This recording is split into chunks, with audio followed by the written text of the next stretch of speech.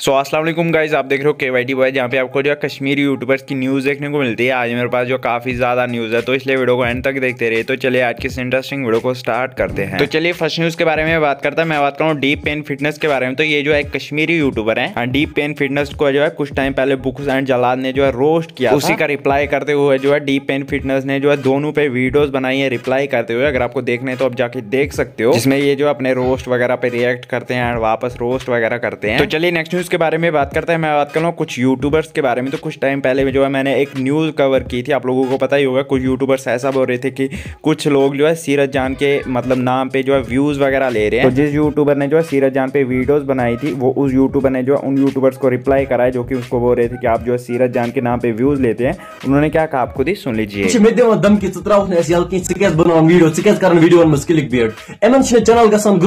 मतलब ये तो मत है कि हम कर टारगेट बेच हम वन तुम ko bari gujar Allah ka sami करता हूँ कि बहुत कपार रोजन वोल मे नफर कर टैग मे उम्मीद अम वात मी कत ब्रो सो गाइस आप लोग इस बारे में क्या सोचते हो? नीचे कमेंट्स में ज़रूर से बताना। तो चलिए नेक्स्ट न्यूज़ के बारे में बात करते हैं। मैं बात करूँ बाबर मुदसर के बारे में। तो आप लोगों को पता ही होगा बाबर मुदसर जो है रील्स वगैरह अपलोड करते हैं अपने इंस्टाग्राम पे। एंड उनका एक रील जो है बहुत ज़्यादा वायरल हुआ था, शायद से उसमें पाँच छह मिलियन व्यूज़ आए थे। और अभी जो है उस रील को बहुत सारे लोग यूज़ कर रहे हैं मतलब एड्स वगैरह चला रहे हैं, जैसे कि आप स्क्रीन पे देख ही सकते हो। एंड अपने अकाउंट्स को ग्रो वगैरह कर रहे हैं।